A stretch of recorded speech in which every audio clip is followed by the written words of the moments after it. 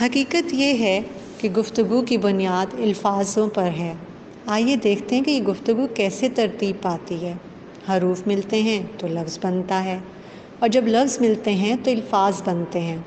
अल्फाजों में इनक्रेडिबल पार और इनर्जी होती है। और ये इनर्जी ट्रांसफ़र होती है। जैसे अभी मुझसे आप तक हो रही है, इसी तरह से आप से दूसरे लोगों तक होती है और फिर दूसरे लोगों से और लोगों तक। आप में से हर एक का किसी न किसी ऐसी जगह पे जाने का इत्तेफाक हुआ होगा, जहाँ की खूबसूरती ने आपको अपनी तरफ़ मुतवजो किया होगा। और आप उस खूबसूरती को अपने ही जहन के अंदर लफ्ज़ों ही लफ्ज़ों में परोने लगते हैं। तो जो कुछ आप बोलते हैं और जो कुछ आप लिखते हैं, गहरा असर रखते हैं।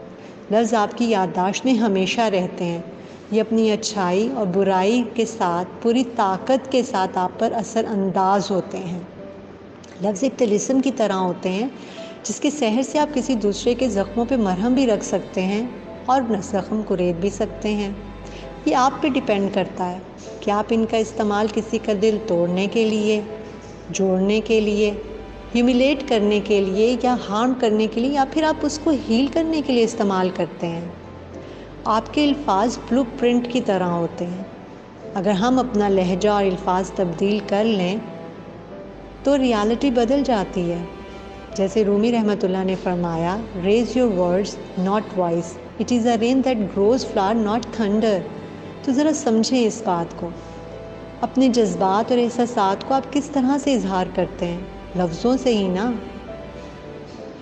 तो जो लफ्ज़ हैं, वो एज अ फ्यूल काम करते हैं आपके जज्बात और एहसास को एक्सप्रेस करने के लिए। अमूमन ये ख्याल किया जाता है कि गुफ्तु दो लोगों के मबैन होती है। एक सेंडर होता है और एक रिसीवर। लेकिन बाज़ों का सेंडर और रिसीवर सिर्फ़ आपकी अपनी ज़ात ही होती है। तो क्या कभी आपने गौर किया है कि वो अल्फाज और वो गुफ्तु जो आप ख़ुद से कर रहे होते हैं, वो किस तरीके से आपकी फ़िज़िकल, मेंटल और इमोशनल हेल्थ को इन्फ्लुएंस कर रहे होते हैं?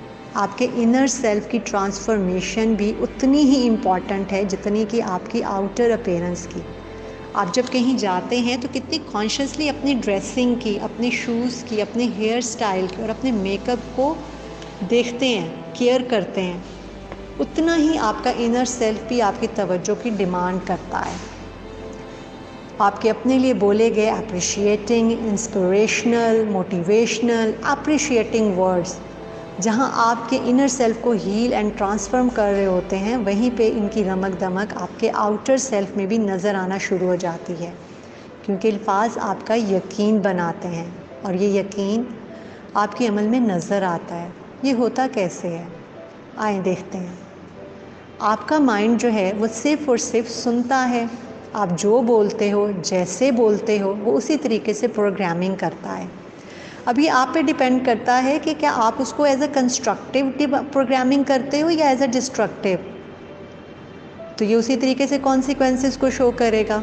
फॉर एग्ज़ाम्पल अगर आप अपने साथ इस तरीके से गुफ्तु करते हो कि I am a loser I am a worse person I can not do anything मेरे में स्ट्रेंथ नहीं है, मैं स्टेज पे जाके नहीं बोल सकता, मैं ढेर सारे लोगों का सामना नहीं कर सकता, मुझमें सलाहियतें ही नहीं हैं कि मैं कुछ काम कर सकूँ।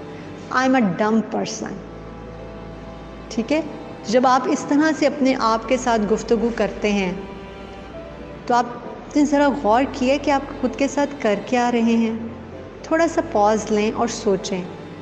आप खुद को नेगेटिवली डायरेक्शंस दे रहे हैं। खुद को नेगेटिव इंस्ट्रक्शंस दे रहे हैं और ख़ुद को उन्हीं नेगेटिव इंस्ट्रक्शन से कमांड कर रहे हैं। तो आपका माइंड भी उसी तरीके से प्रोग्रामिंग करेगा। आपके अल्फाज सिर्फ़ अल्फाज नहीं हैं। ये पावरफुल डायरेक्शन है और इंस्ट्रक्शन है जिससे आप अपने सबकॉन्शियस माइंड को कमांड कर रहे हैं। और आपका सबकॉन्शियस माइंड भी उसी तरीके से मैनिपुलेट करेगा। तो आपने देखा कि लफ्ज़ों का चुनाव जो है वो आपके अपने इख्तियार में है। आप अगर यूँ समझें कि आपके अल्फाज एक रिमोट कंट्रोल की तरह हैं तो ये गलत नहीं होगा। अगर आप खुद से इस तरीके से बात करें बजाय इसके कि नेगेटिव बात करें आप अपने आप से पॉजिटिव बात करें जैसे इट्स ओके okay, अगर आज बहुत सारा काम है तो इट्स ओके okay, मैं इसे मैनेज कर लूँगा. जैसे बहुत सारे लोग होते हैं जैसे मैंने पहले कहा कि अगर आप अपने आप से मन की गुफ्तु करते हैं जैसे मेरी आज बॉस से लड़ाई हो जानी है कुछ ना कुछ ऐसा ज़रूर होगा कि आज मेरी बॉस से लड़ाई हो जाएगी या मेरी अपने किसी सब मतलब अपने कंपेनियन से लड़ाई हो जानी है या कुछ इस तरह का बुरा होना ही होना है तो जिस दिन कुछ बुरा नहीं भी होना होगा ना, उस दिन बुरा होगा। क्योंकि आपने ख़ुद को कमांड ऐसी दिया ख़ुद को इंस्ट्रक्शंस ऐसे दे दी हैं और वो उसने आपके माइंड ने उसी तरीके से प्रोग्रामिंग की है। ठीक है, अगर आप अपने आप से ये कहें कि इट्स ओके मैं काम कर सकता हूँ, मैं अपने टाइम को मैनेज कर सकता हूँ। मैं आज, मुझे अल्लाह ताला ने एक ऐसे स्ट्रॉन्ग बॉडी और ऐसी सलाहियतों से नवाजा है कि जिसके इस्तेमाल से मैं अपने हर काम को बेहतरीन तरीके से सर अंजाम दे सकता हूँ। तो आप देखिएगा कि आप अपने अंदर एक तब्दीली को महसूस करेंगे। अगर आप अपनी अंदर की दुनिया पे गौर करें कि किस तरीके से नेगेटिव वर्ड्स आपके अंदर की दुनिया को तहस नहस कर रहे होते हैं तो आप अपने लिए कभी भी नेगेटिव वर्ड का इस्तेमाल ही नहीं करेंगे और हमेशा अपने लिए पॉजिटिव वर्ड्स का इस्तेमाल करेंगे। जैसे अगर आप अपने आप से कहते हो आई एम अ लूज़र तो आप लूज़र हो गए लेकिन अगर अपने आप को आप इसके बजाय ये कहो कि I am a beautiful person और मेरे अंदर बेपनाह सलाहियतें हैं और मैं उनका इस्तेमाल करते हुए अपनी ज़िंदगी को बहुत बेहतर तरीके से गुजार सकता हूँ। तो इससे आपके अंदर आप गौर करेंगे कि आपको मेंटल, आप फिज़िकली एक्टिव होगे, आप मेंटली बहुत एक्टिव होगे और इमोशनली आप एक स्ट्रॉन्ग पर्सन फील करोगे। So love yourself praise yourself जहाँ ज़रूरत होती है ना दूसरों को प्रेज़ करने की, वहाँ ज़रूरत है ख़ुद को भी प्रेज़ करने की। लफ्ज़ भी लिबास की तरह होते हैं, इन्हें खुद पर ओढ़ कर देखें।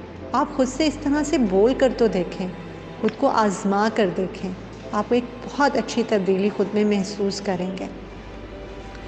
अपने आप से पॉजिटिव वर्ड्स में बात करना सीखें।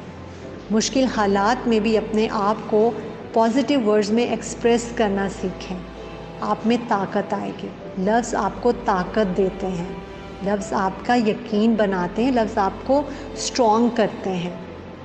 सो नेक्स्ट टाइम जब कभी आपके अंदर अपने बारे में मनफी ख्याल आएँ तो अपने आप से भी कहा करें mind your language and think before your speak ठीक है? ये सिर्फ़ हमें दूसरों को कहने की ज़रूरत नहीं पड़ती है, बल्कि अपने आप से भी कहा करें कि थिंक बिफोर यू स्पीक ताकि आप ख़ुद के लिए भी अच्छे अल्फाजों का चुनाव कर सकें।